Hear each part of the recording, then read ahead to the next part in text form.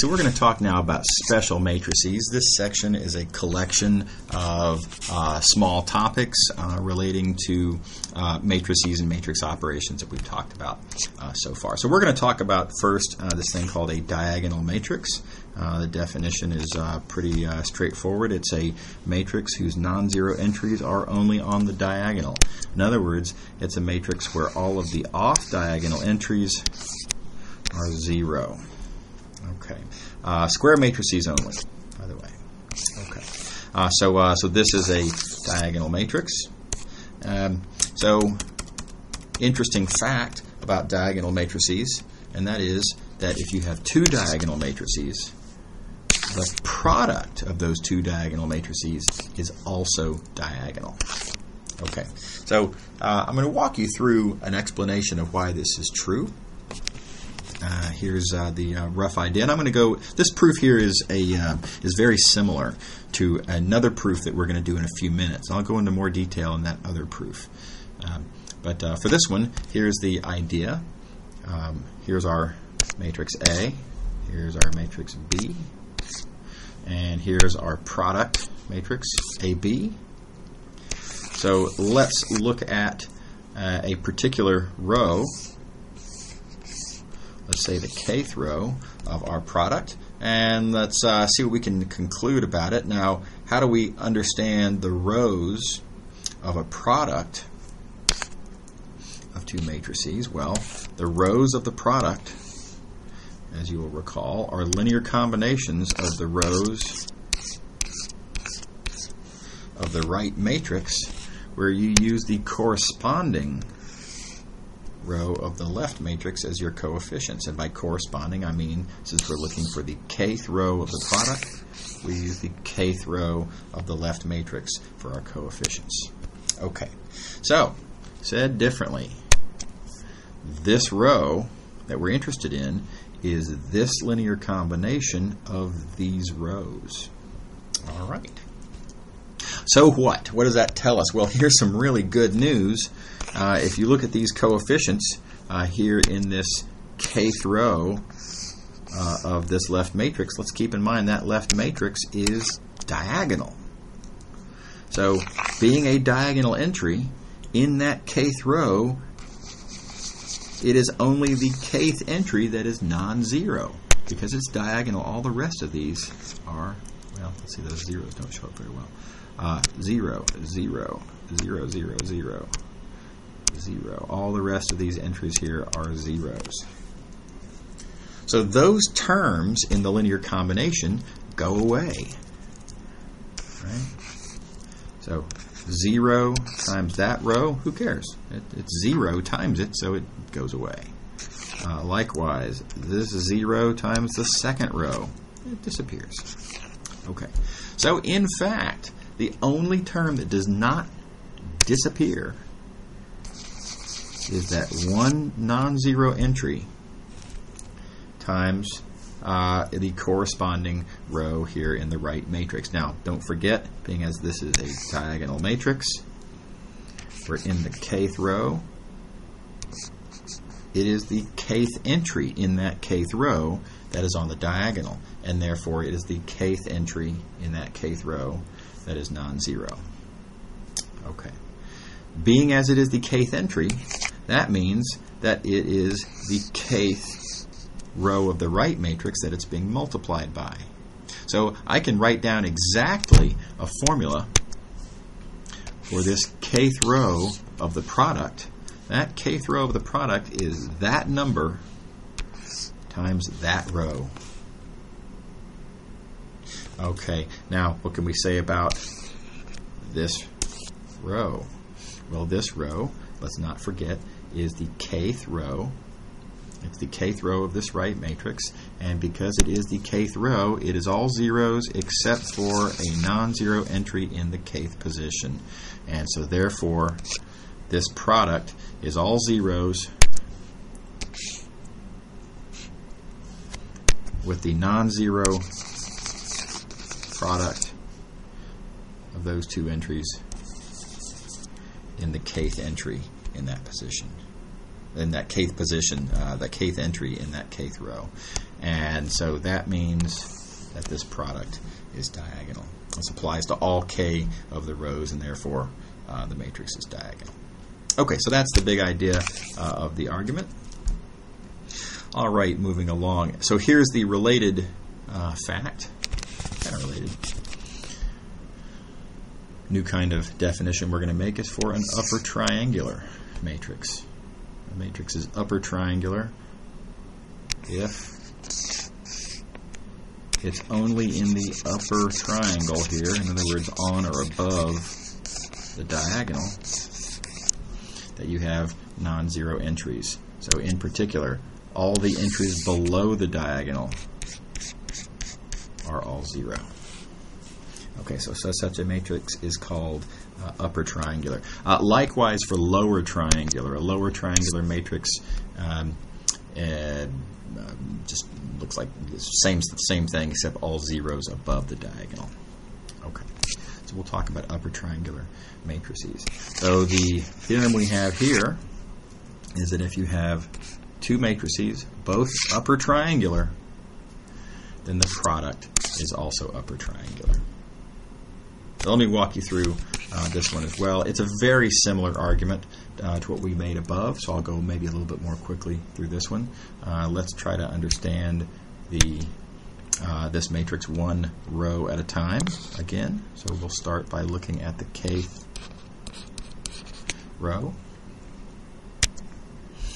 And again, that kth row is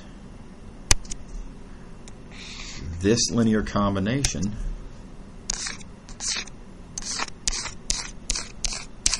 of those rows. Right? That's how matrix multiplication works. That's the point of view that we're going to take here anyway. Uh, don't forget, uh, these coefficients here come from the kth row of this left matrix. Okay. All right, so what do we know? Uh, well, we know uh, in this kth row of this uh, of this left matrix that because this matrix is upper triangular, uh, the first k minus one of those entries are zero. That's what it means to be all zeros below the diagonal. Right? If you look at a uh, look at the diagonal and uh, notice that in the diagonal, the first the first row there are no zeros to the left of the diagonal. In the second row, there's one zero to the left of the diagonal. And the third row, there's two zeros. It's always one less than the row index.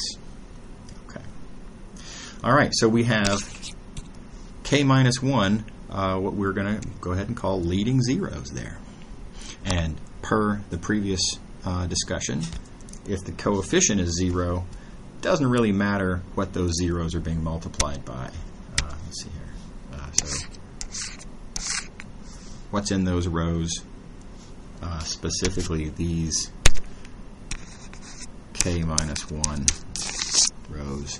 Doesn't matter because they're all going to get multiplied by 0. Okay. Okay, so what does matter, what is left, what is not, what does not disappear, is these remaining rows here excuse me, these remaining entries in that kth row, and they get multiplied by, why don't I do this a little bit more? There we go. They get multiplied by these rows. Right? We have coefficients in a linear combination of now these rows. Okay. So which rows are these? Well, uh, this is the kth entry through the last entry. That means that this is the kth row that it's getting multiplied by. And then, you know, further. Okay. Well, how many leading zeros can we say that there are in that kth row? Well, being as it is the kth row of an upper triangular matrix, and let's not lose sight of the fact that this B is upper triangular That matrix there is upper triangular. Um, there are k minus 1 leading zeros there, at least. And now, for the rows after that, there are at, at least that many as well. There are k minus 1 leading zeros in all of these rows. So what I've got then is a linear combination of rows, all of which, oh, whoops, uh, all of which um, have k minus 1 leading zeros. So that linear combination will have k minus 1 leading zeros. Let me label this. Uh, there are k minus 1 leading zeros. And therefore, that likewise has k minus 1 leading zeros. So altogether what we have shown is that uh, this row uh, this row, this the kth row, has k minus 1 leading zeros, and that that's true for all values of k, and therefore this matrix is upper triangular. Okay, so you notice the argument is very similar to the analogous argument for diagonal matrices, a little bit different in the details, but it's the same idea. You understand matrix multiplication as a statement about linear combinations of rows, and then just count your zeros. Keep track of your zeros, basically. Okay, so moving along. Uh, another little idea that needs to get discussed this idea of a transpose of a matrix. We denote the transpose with this superscript of a capital T. It just says transpose. And the idea is, roughly speaking, let's go to the rough idea first, that you're going to take the diagonal of the matrix, even if it's not a square matrix, and just flip over the diagonal. So notice that when you flip over the diagonal, rows become columns. Right, just flipping over that sort of 45 degree uh, green line there. And uh, furthermore, columns become rows. Another way to say this is that if you're looking in the transpose matrix, what is the row number and column number, well, in the original matrix, that's the row number and the column number. So what had been the uh, row number becomes the column number. What had been the column number becomes the row number. You're just switching rows with columns. All right, so algebraically we write it down like this, but you think of it uh, like this. Okay, it's a very odd, at first glance, seemingly odd little operation. I've taken a matrix and, uh, you know, uh, why flip over that line? Why not? Uh, why not flip over um, that line or something? Uh, it just it seems like an arbitrary choice, um, but it is particularly interesting to notice that rows become columns. We know that rows and columns are natural things, and so turning one natural thing into a different natural thing, not arbitrary. This actually is a more natural process than at a glance it might appear. Okay, further evidence of that fact. Transposes have a really close connection to matrix multiplication. So in particular, the transpose of a product of two matrices is the product of the individual transposes. Well, that's pretty natural. Uh, now you do have to be careful. Don't forget uh, with this, uh, you'll notice here that the order switches. So the one that was on the left goes over to the right when you transpose it, and the one that was on the right goes over to the left when you transpose it. You got to switch, uh, just like with inverses. So let's see why this is true. Uh, this is a very direct brute force proof. I'm going to take this matrix and I'm going to write down what its ij entry is. And then I'm going to take this matrix and I'm going to write down what its ij entry is. And I'm just going to confirm that they are in fact the exact same thing. Okay. All right, so let's take these one at a time. Um, from our definition of transpose, if you're transposing, then the ij entry becomes the ji entry. Okay. From one of our interpretations of matrix multiplication, when you multiply two matrices AB, you take the corresponding row of the left matrix, you take the corresponding column of the right matrix. Notice we're using capitals to indicate rows, lowercase to indicate columns, as we did when we were talking about matrix multiplication in the first place. And we have here then a formula for how to compute this ij entry uh, of the matrix on the left side up here. Okay. Now what about on the right side? On the right side, well, we compute the ij entry by uh, again, if you know you're multiplying two matrices, you take the ith row of the left matrix, you take the jth column of that right matrix. That's a def- That's one of our formulas for matrix multiplication. Don't forget that transposing trades rows with columns. And likewise, here transposing trades columns and rows. So what we have then is the ith column of B dot the jth row of A, and in fact then exactly the same thing that we got in the other. So this is a very direct brute force calculation, uh, just using uh, facts that we already have at our disposal uh, to draw the desired conclusion. Okay. Okay. Consequence of this, really lovely little fact. The transpose of an inverse is the inverse of the transpose. Very unexpected. This is, I, I would go so far as to call this shocking. Uh, let me try to explain first why I think this is a shocking fact.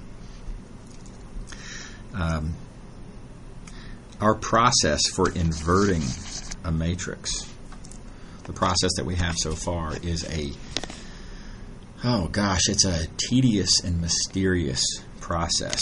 Right? We take, if you want to invert a matrix, A, uh, you write the identity next to it, and you row reduce. Keep doing row operations until you get the identity on the left, and then sort of borderline magically, you get A inverse on the right. Now, it's an immediate consequence of elementary matrices, sure, right? But it's a um, as a process, this is a uh, sort of cryptic, opaque process. Whereas uh, this process for how do we transpose a matrix is super, super uh, evident. Uh, you flip it over the diagonal. Right? It's really easy to see what happens there. So it's just amazing to think that if you transpose a matrix, that the process of going through and inverting that transpose would always give you exactly the transpose of the inverse matrix. Um, inverse matrix. It just seems surprising that that would work. Uh, anyway, very counterintuitive as a result, uh, but it's not hard to prove. It's an immediate consequence of, um, of what we just proved above here this fact here. So if I want to prove that these two matrices are inverses of each other, the direct way to prove that two matrices are inverses of each other, you show that the one times uh, the other, whoops, the other uh, is the identity. Right? That's how you show two matrices are the inverses of each other. A, B is equal to A inverse if A, B is the identity. That's all we're doing here, basically. Okay. So, I'm going to multiply this out and see what we get. Well, this property tells us that the product of the transposes is the transpose of the product. Of A times A inverse is the identity. And the identity transpose is, of course, the identity. because the identity is um, all zeros of both above and below, and you just think about how it transposes, nothing happens. Okay, so uh, immediate proof to a very surprising theorem. Okay. Symmetric matrices. Quick definition, a matrix is symmetric if it's equal to its own transpose. And it's just very easy to see the motivation for this term by this example. Look at that diagonal. Think about what happens when you flip this over the diagonal. That goes to that. Right? That goes to that. That goes to that. The matrix doesn't change when you flip it over the diagonal. So symmetric is a very natural choice of terminology. Um, uh, if it's if a matrix is equal to its own transpose. Okay. Um, all right. Uh, you can write that down in general though, like this. That uh, of course, when you transpose, the ij entry goes to the ji entry. Symmetric would mean that those are the same. Okay. Uh, curious little fact: for any matrix A, that product is symmetric. Unexpected. Now, this is true for any matrix. Very weird. Show you why. How do we check if a matrix is symmetric? Well, you check that a matrix is symmetric if that matrix is its own transpose. So that's exactly what we're going to do. We're going to take this matrix and we're going to check that that matrix is its own transpose. So in particular, I'm going to take that matrix and I'm going to transpose it, and I'm going to confirm that you get itself back. Okay. Well, to get that result, again, we cite this old fact about transposes and multiplications. Uh, notice that that is that, that is that. So here I'm just asserting that the transpose of product is the product of the transposes. Don't forget to switch the order, of course. Um, the transpose of the transpose of a matrix, not hard to see that that's the original matrix. You flip it and flip it back, nothing happened. And as desired, the transpose of that matrix is itself. And that's the definition of symmetric. Okay. Very similar argument to be made about this product. Uh, that is also symmetric. Here's the argument. I'll let you guys read that. Okay. All right. And then lastly, um, a consequence of the of, um, uh, the previous theorem that we wrote down. Uh, if you have an invertible symmetric matrix, the inverse is also symmetric. Now, again, that seems like a really surprising result. Uh, yeah, and just imagine, uh, you know, again, think about how we find inverses. Uh, if you have a, a nice uh, symmetric matrix here, so this is symmetric, right?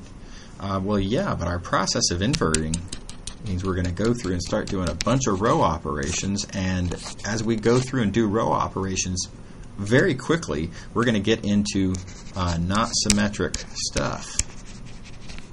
All of these things, all of these sort of intermediate stage, you have no reason to believe that they're going to be symmetric. You're doing row operations. Row operations don't preserve any sort of symmetries. This is easy to check by examples. Just pick a symmetric matrix and start row reducing it. It's going to immediately turn non-symmetric.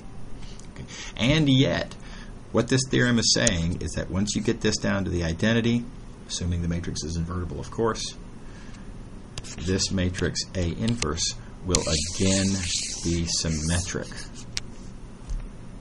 Even though it, the, the right hand side went through a long phase of non symmetric things. So it kind of comes out of nowhere. Again, very unexpected. Again, easy to prove.